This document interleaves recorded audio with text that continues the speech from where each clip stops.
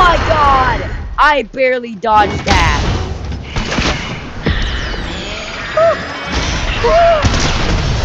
yes, sir!